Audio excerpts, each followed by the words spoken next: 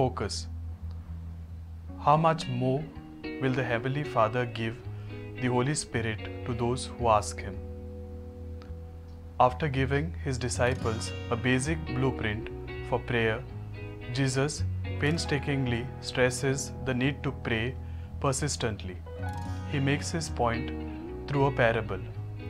The sleepy friend is naturally discomfited owing to the lateness of the hour.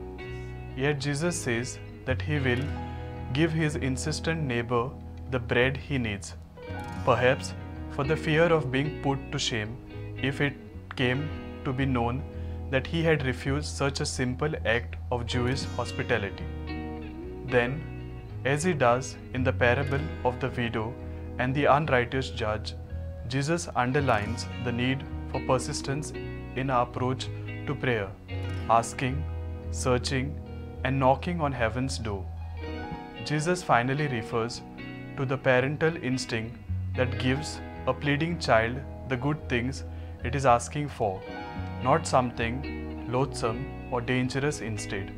And he reminds them that their Heavenly Father will be even more dependable in fulfilling their prayers with the greatest gift of all that of His own divine life through the Holy Spirit.